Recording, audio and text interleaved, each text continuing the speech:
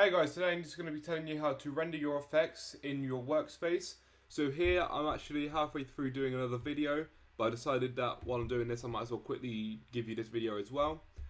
Uh, so here I'm just explaining how you speed up and slow down footage and a lot of the time when you do something like this it won't play properly as you can see there it will play for a bit but then it will start lagging purely because this little red bar over here is red and that means it hasn't been rendered so what we want to do is drag the yellow bar here.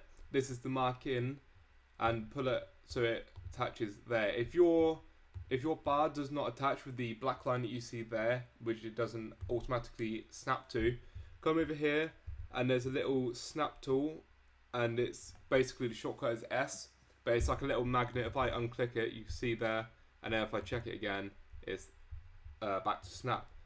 So what you want to do is you want to bring the first one in, that mark in, and then want to bring the mark out from over here also to the end of the clip.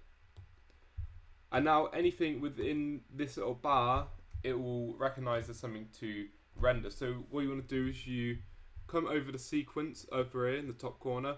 You want to go down to render effects in work area and that will just render everything within the mark and mark out point that you've got there and then you've just got this little rendering thing. This does not export it ready for anything like YouTube, but you'll see in a minute when I cut this out that the red bar will turn green and then it will be able to play without any lagging.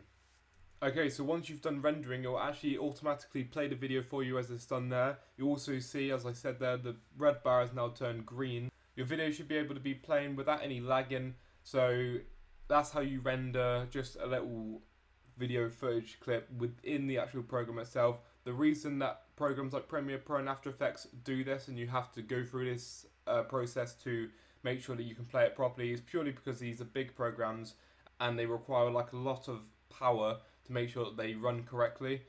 And if you had that power with everything on your timeline, your, your computer or desktop, whatever, would go a lot slower. So it's just a way for the program to try and make your computer run a bit better. Thank you for watching. I hope you enjoyed the video. Please comment, rate, and subscribe, and I'll see you next time.